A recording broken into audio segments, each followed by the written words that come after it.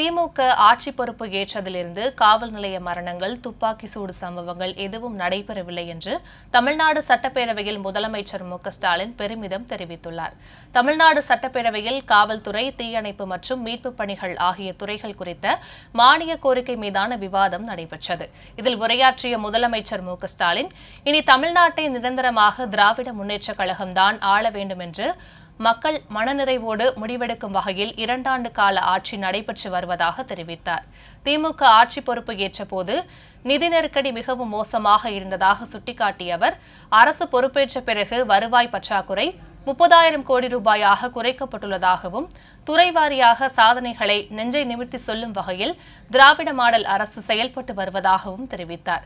மேலும் தமிழ்நாட்டை நோக்கி இரண்டு லட்சம் கோடி ரூபாய் மதிப்பிலான புதிய தொழில் முதலீடுகளை ஈர்த்துள்ளதாகவும் முதலமைச்சர் பெருமிதம் தெரிவித்துள்ளார்.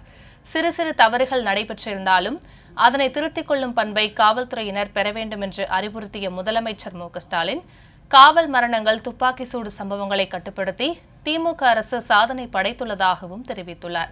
எனவே சட்டம் ஒழுங்கு பேணப்பட்டு தமிழ்நாடு அமைதி பூங்காவாக திகழ்வதாகவும் முதலமைச்சர் மு ஸ்டாலின் தெரிவித்துள்ளார்.